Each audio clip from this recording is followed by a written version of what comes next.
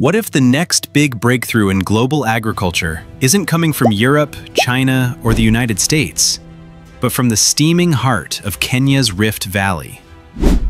Picture this. In a landscape where hot steam rises straight from the ground and wildlife grazes peacefully nearby, Kenya is quietly building something the world has never seen before. A project so bold, so forward-thinking, that experts say it could rewrite the future of global farming and clean energy all at once. Here in Olkaria, Naivasha, a new kind of factory is rising from the volcanic ground. It doesn't rely on coal, it doesn't burn diesel. Instead, it taps directly into the Earth's own heat, turning raw geothermal power into the lifeblood of modern agriculture. This is Kenya's 800 million US dollars green ammonia and fertilizer plant, developed through a partnership between China's Kaishan Group and Kenya's own energy giant, KenGen. And officials describe it as the world's first geothermal-powered green fertilizer plant, a facility designed to transform underground steam into the fertilizer that feeds millions. Business, Kenya has taken a major step towards cutting the high cost of fertilizer after President William Ruto broke ground for the KenGen Kaishan green fertilizer plants. The 100 billion shilling facility will use locally produced green ammonia to manufacture fertilizer, reduce import dependency, and cut costs for farmers. And Kenya is not hoping to succeed. Kenya is positioning itself to lead. Because once this plant becomes fully operational, it won't just reshape Kenya's harvests, it could reset the rules of the entire global fertilizer industry. To understand why this matters, we have to talk about something that usually stays in the background fertilizer. Around the world, fertilizers, especially nitrogen based ones, are the quiet engine behind modern agriculture. Without them, global food production would collapse. But there's a problem. Most nitrogen fertilizer today is made from natural gas. The process is energy hungry and emits a huge amount of carbon dioxide. Globally, ammonia production alone is responsible for a significant share of industrial emissions, even before that fertilizer reaches the farm. For countries like Kenya, there's a second problem imports. Kenya does not produce large volumes of its own fertilizer. In 2023, the country imported more than 600,000 tons, and by the middle of 2025, it had already brought in another 443,000 tons, worth nearly 60 billion Kenyan shillings, hundreds of millions of dollars, leaving the country just to keep crops growing. When global prices jump or shipping routes are disrupted, Kenyan farmers feel it immediately. Fertilizer becomes more expensive, harvests shrink, and food prices rise. That's exactly what happened when energy prices spiked worldwide and supply chains were squeezed in recent years. So for Kenya, fertilizer is not just a farm input. It is a national security issue. In November 2025, President William Ruto stood at the KenGen Green Energy Park in Olkaria and officially launched an $800 million green ammonia fertilizer complex. Supply of fertilizer. On events elsewhere in the world, we will not have trouble with logistics. But much more importantly, it's going to save us on our foreign exchange. The project brings together KenGen, which will supply around 165 megawatts of geothermal steam and power for at least 30 years. Kaishan Group, a Chinese energy and equipment company, which will build and operate the plant through its Kenyan subsidiary Kaishan Terra Green Ammonia Limited. At full scale, the facility is expected to produce around 200,000 tons of green ammonia a year, and convert that into roughly 480,000 tons of nitrogen fertilizer annually. More than 9 million 50 kilogram bags of product like urea and calcium ammonium nitrate. Analysts following the project say that is enough to cover nearly half of Kenya's annual fertilizer demand, dramatically reducing the country's exposure to dollar-denominated imports and global price swings. Kenya's own power mix makes this possible. The country already gets over 80% of its electricity from renewables, and geothermal is one of its strongest pillars. Now that same steam that lights Kenyan homes is being redirected to feed Kenyan soils. On paper, the numbers are bold. Kenya's government and KenGen say the plant will create over 2,000 direct and indirect jobs in construction, operations, maintenance, logistics, and support services. Generate about 13 million US dollars in net profit every year for KenGen, on top of annual revenues estimated between 220 and 250 million US dollars for the wider project once fully operational. But beyond the balance sheets, the real impact will be felt on almost every farm in Kenya. For years, officials have warned that high fertilizer prices directly reduce maize output, and maize is the staple food for millions of Kenyans.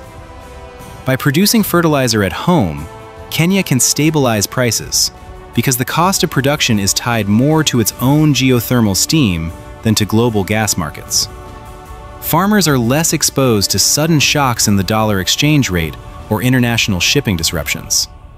Domestic supply becomes more predictable, helping farmers plan how much to plant and what they can afford in advance.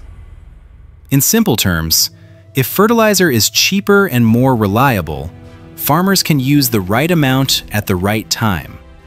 Yields go up, incomes rise and fewer families have to choose between paying for inputs and paying for school fees.